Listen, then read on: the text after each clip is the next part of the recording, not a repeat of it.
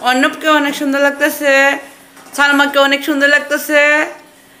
সবাই অনেক নাইস করে সাজুগুজু করছে। শুধু আমার অনিবাটা সাজুগুজু করে না। খালামণি ফোন ধরে না। এই যে করছে এই যে করছে। আমি সাজি না। এ, সাজো না, এটা কি মুখের ভিতরে? লিপস্টিক লিপস্টিক না, লিপস্টিক বলে লিপস্টিক এর মধ্যে কই কে সাজছে না অর্ণবে আগে অনেক ছোটবেলায় ফাউন্ডেশন দিত লিপস্টিক দিত। তুমি আবার লাগাই দিতা? হুম? তুমি আবার লাগাই দিতা, আমি লাগাই দেওয়ার পরে অর্ণব লিপস্টিক একটু একটু নিয়ে ডলতো ওই ইয়ার মতন না তাসরির মতন হ্যালো খালামণি তখন ছোট ছিলাম না। হ্যালো হ্যালো বিয়ের মধ্যে যাওয়ার আগে আমি তুমি? আমি একটা মিষ্টি খেতে চাই। খান। ও যে আমরা আসতেছি চাবি আসসালামু আলাইকুম welcome back to my channel. সবাই কেমন আছেন? আমরা তো আলহামদুলিল্লাহ বেশ ভালো আছি।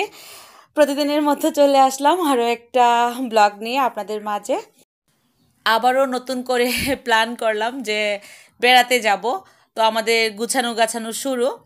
হঠাৎ করেই প্রিপারেশন লাগেজ গুছিয়ে নিচ্ছি। গতকালকে একটু শপিংয়ে বের হয়েছিলাম, কিন্তু সেগুলো আপনাদের সাথে শেয়ার করতে পারি নাই। তারপরও কিছু জিনিস মানে কেনাকাটা করলাম, সেগুলো একটু শেয়ার করব। তো কসমেটিক্স কিছু কেনাকাটা হলো। শুধু আমি একটু সাজি অনিবাদ তো সাজে না, আর সালমা সাজে। সালমার জন্য অনেক কিছু কিনলাম, তো সেগুলো আর শেয়ার করা গেল না। তো আমি একটু লাগেজটা গুছিয়ে নিই, তারপর আপনাদের সাথে শেয়ার করব। অনেকগুলো চাদর কিনেছি বাড়িতে নেওয়ার জন্য। বাবার বাড়িতে আবারও বেড়াতে যাচ্ছি। আমরা কিন্তু সেদিন ঘুরে আসলাম। আমাদের সেদিনের বেড়ানো পোষায় নাই। ঢাকাতে চলে আসছি হঠাৎ করেই। তো আরও কিছুদিন বেড়াবো, সেজন্য আবার চলে যাচ্ছি।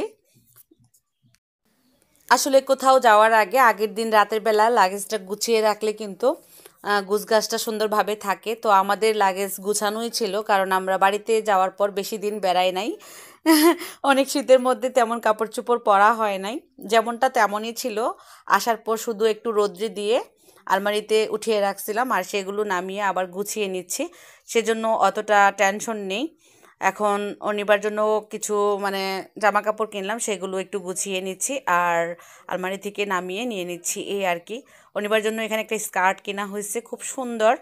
স্কার্টটা মানে কি বলব, অনেক সুন্দর। তো অনিবা পরার পর অবশ্যই শেয়ার করবে। যদি পরে আর কি গ্রামের বাড়িতে যাওয়ার পর, অনেক সুন্দর একটা স্কার্ট। আর স্কার্টটা আমার কাছে খুব ভালো লাগছিল। তো নিয়ে আসলাম আর কি, ডিজাইনটা খুবই সুন্দর।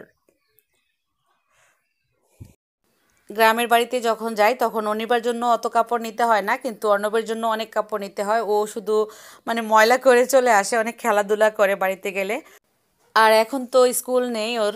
ও মানে অস্থির হয়ে যায় বাইরে যাওয়ার জন্য।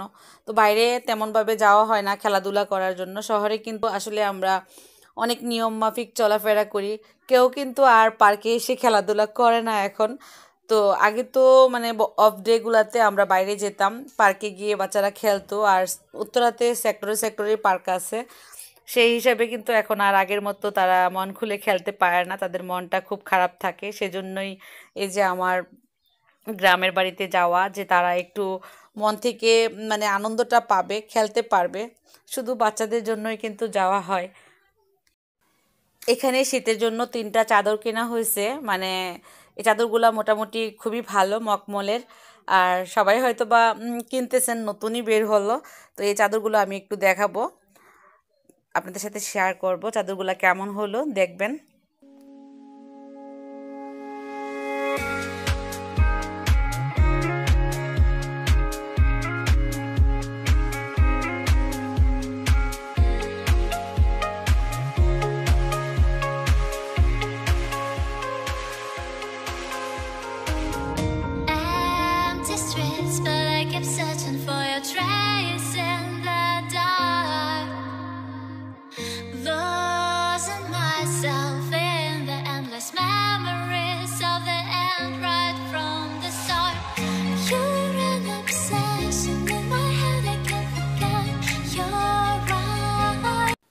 অনিবা অর্ণব, সালমা, ওরা রেডি হয়ে গেছে।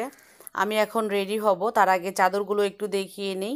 এই যে চাদরগুলো কিন্তু বিশাল বড় ডাবল চাদর আর মকমলের খুবই ভালো লাগে দেখতে। আর যেহেতু গ্রামে অনেক শীত, তো মায়ের জন্য একটা নিব, চাচির জন্য একটা আর ভাবির জন্য। আরও কয়েকটা আছে, সেগুলো আমার আরও একটা ব্যাগে ঢুকিয়ে ফেলেছি, ওগুলো অন্য টাইপের তো অনেকগুলো চাদর নিয়ে নিলাম। এগুলো গিফটের জন্য আমার কাছে ভালো লাগল, আর সেজন্য নিয়ে নিলাম। আর আপনাদের সাথে একটু শেয়ার করতেছি। তিনটা তিন কালারের আছে এখানে, আর মকমলটা এতটাই মানে ওম, শীতের জন্য খুবই ভালো। তো যাই হোক, আমি এখন রেডি হয়ে আমরা রওনা করব, আর একটু দেখিয়ে দিলাম। অনিবার আব্বুকেও দেখাচ্ছিলাম আর কি, সেজন্য ভাবলাম যে আপনাদেরকেও একটু দেখিয়ে দিই। শেয়ার করি চাদরগুলা।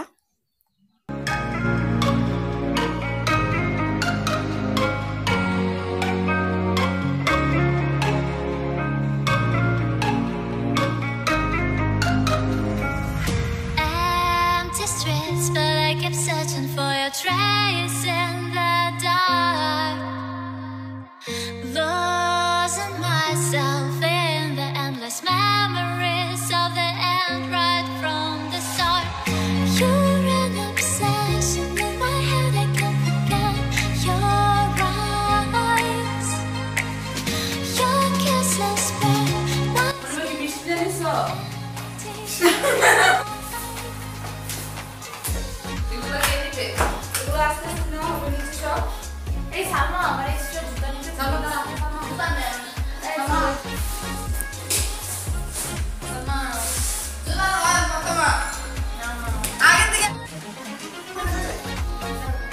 তার নাম পাসি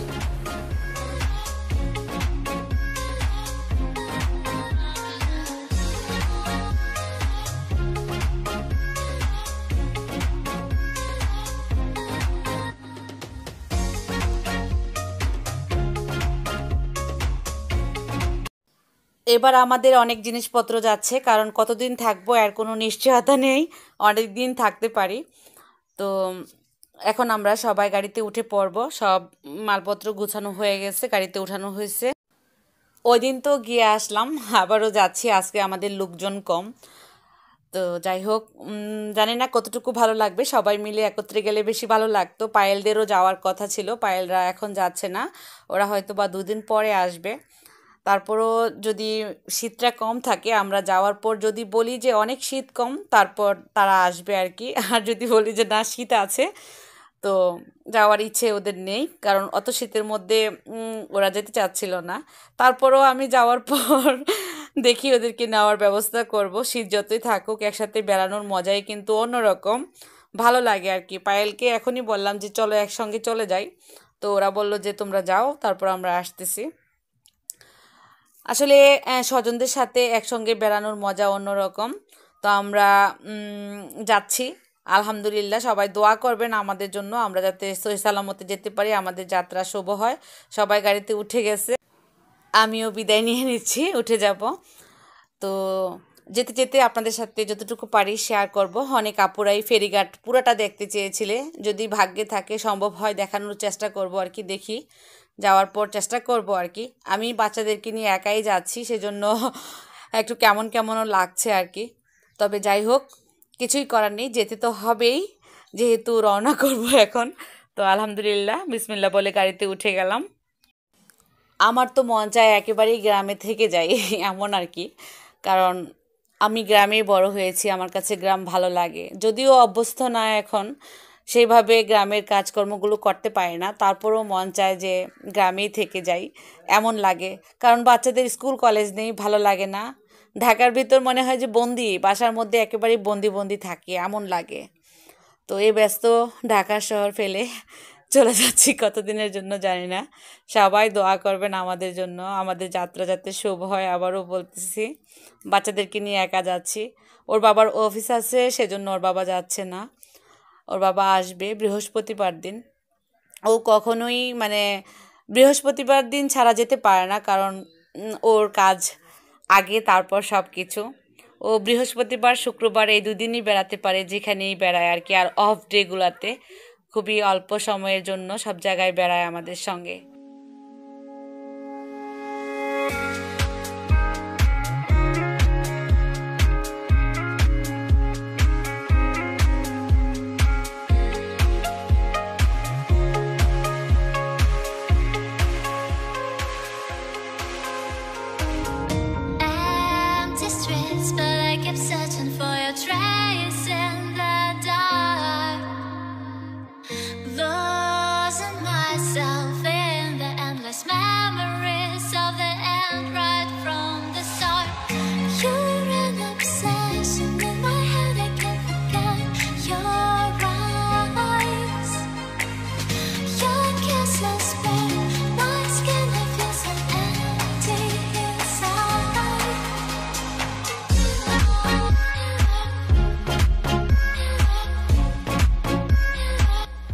লং জার্নিতে অনেক ভালো লাগে, মন ফ্রেশ হয়ে যায়, এমন কিন্তু। তো ওরা খুব এনজয় করতে করতেই কিন্তু চলে যায় ওদের নানুর বাড়িতে। আর এখন তো শীতকাল মানে জার্নিটাও ভালো লাগে। গরমের মধ্যে কিন্তু তেমন ভালো লাগে না জার্নি, যদিও এসি গাড়ি থাকে তারপরও। কিন্তু এই শীতকালের জার্নিও ভালো লাগে, বেড়ানোও ভালো লাগে, যদিও একটু কষ্ট, শীতটা একটু বেশি থাকে। আর এখন আমরা যে একটা সুযোগ পাচ্ছি যার যার নিকটস্থ গ্রামগুলোতেই কিন্তু বেরিয়ে আসতে পারি। দূরত্ব কোথাও না যেয়ে যদিও ইচ্ছে ছিল দূরত্ব কোথাও ঘুরতে যাব। তো আগে মন ভরে আমরা গ্রাম থেকে থেকে আসি, তারপর একেবারেই চলে যাচ্ছি গ্রামের বাড়িতে। জানি না কতদিনের জন্য যাচ্ছি। আর অনেকে রিকোয়েস্ট অনেক কিছু। গ্রামের বাড়িতে অনেকগুলো ব্লগ কীভাবে কীভাবে ব্লগ করব সেগুলো আমাকে বলেছিলেন, আমি চেষ্টা করব শেয়ার করার জন্য। যদি আকাশের অবস্থা মানে ওয়েদার ভালো থাকে, কারণ অনেক শীত যেহেতু, গ্রামের বাড়িতে কেমন শীত আমি জানি না। তো আমরা কিন্তু রওনা করেছি মানে কি বলব, আমি কিন্তু টাইমটা বলতে ভুলে গেছি। আমরা রওনা করেছি দুপুর দুইটার দিকে। তো আমাদের রাস্তার মধ্যে একটা ঘটনা ঘটে গেল আর কি। ঘটনা বলতে আমরা গাউসিয়াতে এসে মানে গাড়িতে গ্যাস নিতাম, কিন্তু এখানে গ্যাস পাই নাই। ভাবছিলাম যে সামনে কোথাও গ্যাসের পাম্প পাওয়া যেতে পারে, সেটা ভেবে আমরা চলে গেছিলাম সেই অনেক দূর আর কি, সেটা কোন জায়গা যেন আমি ভুলেই গেছি। আসলে জায়গাটার নাম, সে এক ঘণ্টার রাস্তা, আমরা কোনো গ্যাস পাম্প পাইনি। তো সেখানে আরও দূরে গিয়ে পেলাম। তো এক ঘণ্টা যেতে আর এক ঘণ্টা আসতে দুই ঘণ্টা আমাদের ওখানে যেতে, আবার ব্যাক করতে গাউসিয়াতে অনেক টাইম লেগে গেছে। তো এখানে এসে আমরা আজকেও ফেরি মিস করেছি। ফেরিঘাটে চলে আসছি আর কি। আমাদের অনেক জার্নি হয়ে গেছে। কারণ অনিবার অনেক ইচ্ছে লং জার্নি করবে। তো অনিবাকে বলতেছিলাম, তোমার অনেক বড় লং জার্নি হয়ে গেছে না বলো তো? বলতেছে হ্যাঁ আর বলো না। তো এখানেই প্রায় এখন তিনটা, সাড়ে তিনটার মতো বাজে। আর এই ফেরিঘাটে আমাদেরকে আরও তিরিশ মিনিটের মতো ওয়েট করতে হবে। ফেরিটা কিন্তু ওই যে চলে যাচ্ছে। এখানে দুইটা ফেরি আছে, তবে একটা ফেরি ওনারা রানিং রাখছে আর কি আর একটা ফেরি এখানেই রেখে দিছে, ওই তো দেখা যায়। তবে যাই হোক, আমরা এখানে ওয়েট করব। তো এখানে ভালো লাগতেছে নদীর যে একটা ওয়েদার বাতাস সেটা অনেক ভালো লাগার মতো। অর্ণব তো গিয়ে ওখানে বসেই গেছে। তো ফেরিঘাটের এই যে, এই দৃশ্যটা যারা যারা দেখতে চেয়েছিলেন, আমি একটু দেখালাম। অনেক আপুরা কমেন্ট করেছিলে, ভাইয়ারাও কমেন্ট করেছিলেন যে, আপু দেখতে চাই, ফেরিঘাট পুরাটা দেখাবেন।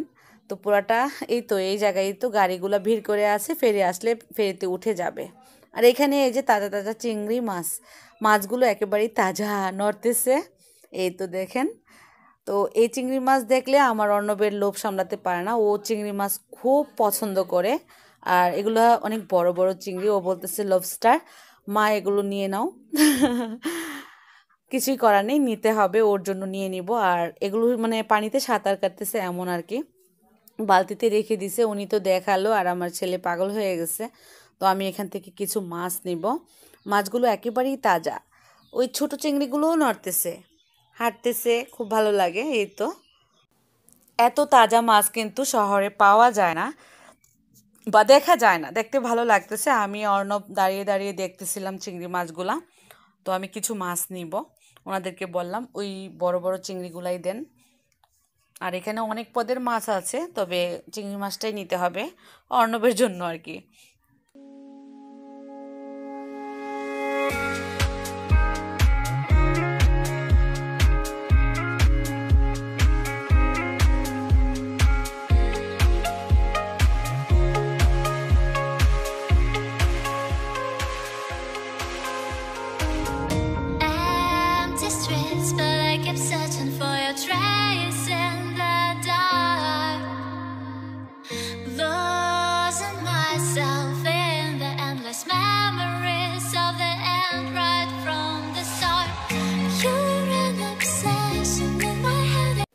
আমরা এখান থেকে দেড় কেজির মতো চিংড়ি মাছ নিয়ে নিলাম। বড় বড় চিংড়ি কিন্তু।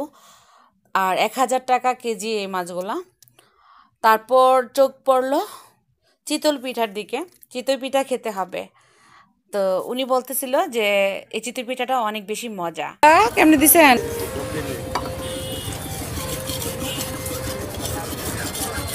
এটা আগুনি চাউলের পিঠা? নতুন চালের পিঠা। নতুন চাউলের পিঠা। এটা আগুনি চাউল কয়? নতুন চাউলটা মার খা- মারা সোনাটির মারা আমরা মার খাওয়া মাঠটা সুদা সুদা খাওয়া যায়। অনেক সেন্ট এটা খিচুড়ি আর বেশি স্বাদ। তাই?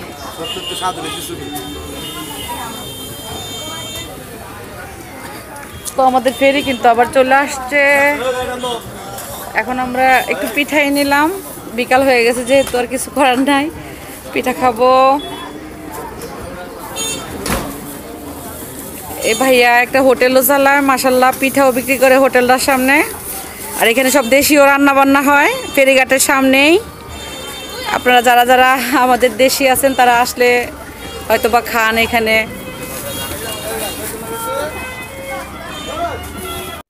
আসলে সরাসরি বয়েস দেওয়ার মতো কোনো ইয়ে ছিল না এখানে, গান ছেড়ে রাখছে। তো গানগুলা কিন্তু আবার কপিরাইট চলে আসে সেজন্য আমি সরাসরি বয়েস দিতে পাই নাই। অনেক গান দিয়ে একেবারে ভরে রাখছে আর কি বিকাল টাইম তো এই জন্য এর জন্য আর কি সব কিছু শেয়ার করতে পারি নাই তেমনভাবে। পিঠা নাও।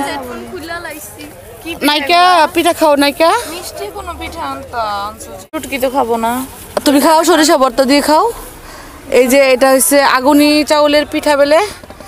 ওয়াও। লাল চাইলের না এটা আগুনি চাউল মানে নতুন চাউলের পিঠা। আগুনে কি? আগুনি মানে আগে আগে চলে আসে না চাউলটা? ও আচ্ছা। না ভাই এর জন্য আগুনি চাউল কয় না? আগুর মাসে হয় আগে আগে আমি ভাবছিলাম যে আগে আগে চলে আসে যে এই চাউলটা সেটাকে আগুনি চাউল উনি বলল। ও আচ্ছা আচ্ছা। এই শুটকি পর্দাটা খুলো। অনেক টেস্টি হবে অবশ্যই আমি শুধু শুধু দেখে ফেলি। উম, আর- অর্ণব খাবা? উম, হ্যাঁ। কই শুটকির ভর্তা? সত্যি অনেক টেস্ট দেখো তো খেয়ে। পড়ল আমার উপর ভর্তা পড়ল সালমার বাচ্চা। পড়তো না? কি এর ভর্তা? কি শুটকি? অনেক মজার শুটকি। নাম কি বলতে পারো না? আমি তো জানি না। ভর্তা লাড়া বলতে লারা হ্যাঁ। চাপা শুটকিতে অ্যালার্জি আছে? না না। আপনার সব জিনিসে অ্যালার্জি আছে। না এটা পুটি না পুটি মাছ? পুটি মাছে তো অ্যালার্জি আছে। পুটি মাছে অ্যালার্জি আছে? হ্যাঁ সব তো নিয়ে এলার্জি আছে খাইলে। আমার শুধু এই খাও না কেন? দাঁড়ান। তো পিঠাটা খাই একটু শান্তি করে। এনে রাখেন এই। আমাদের ফেরিও চলে আসছে। আমরা এখন ফেরিঘাট থেকে বিদায় নেব। সালমা জালমুড়ি কাল লাগবে আর? কি আচার নিচ্ছিস সেখানে আল্লাহ। আচার দিয়ে মজা। আচার দিয়ে মজা সবাই জালমুড়ি খাচ্ছি আমরা। আর ফেরিঘাটের জালমুড়িটা আসলে অনেকেই আপুরা বলছেন অনেক মজা সত্যি অনেক মজা। এটা আসলে কিন্তু আমরা মিস করতে চাই না। আজকে ফেরি থেকে নামলাম না ফেরিতে বসে আছি। অনেক খেয়ে ফেলছ? আমার একটু মরিচের কুচি দিয়ে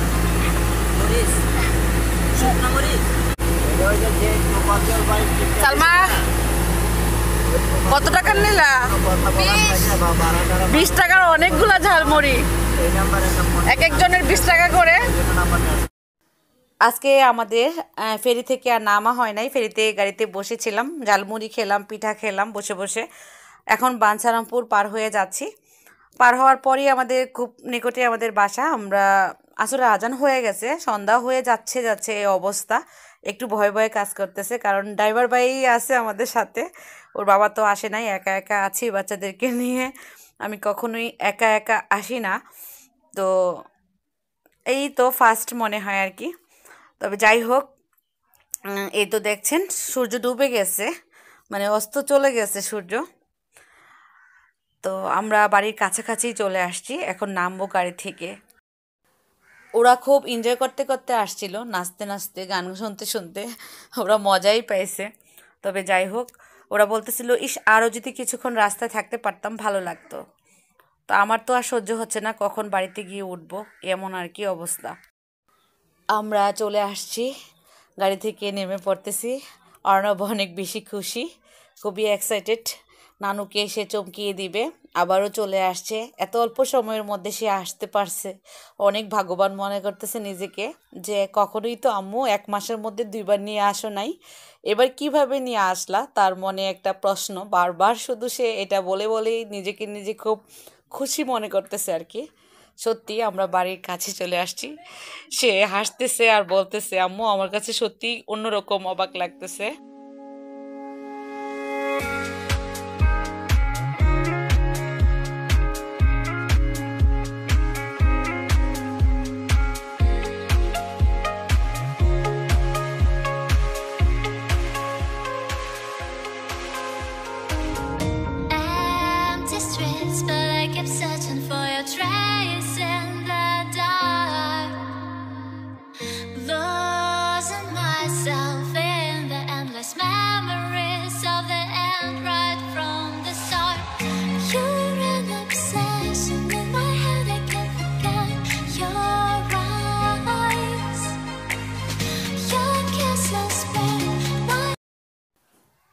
আমরা বাসায় আসার পর মানে মাগরিবের আজান হওয়ার পর নামাজের পর একটু খেয়ে নিচ্ছি। কারণ দুপুরবেলা বাসা থেকে খেয়েই কিন্তু আমরা বের হয়েছি। রাস্তাঘাটে এত কিছু খেয়েছি, বাসায় আসতে আসতে আজানও হয়ে গেছে। তো ভাবলাম যে একেবারে আজানের পরই খেতে বসি। তো আব্বা আমাদেরকে বসে বসে খাওয়াচ্ছে। মা তো মহা খুশি। আজকের মতো তাহলে বিদায় নিয়ে নিই। খেতে খেতে সবাই ভালো থাকবেন, সুস্থ থাকবেন। আর অবশ্যই যেহেতু গ্রামে আসছি, আপনাদের সাথে অনেক কিছু শেয়ার করার চেষ্টা করব। আজকের মতো তাহলে বিদায়। আল্লাহ হাফেজ।